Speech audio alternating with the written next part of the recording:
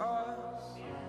I'm here and I'm feeling feeling Exaggerated, that's what you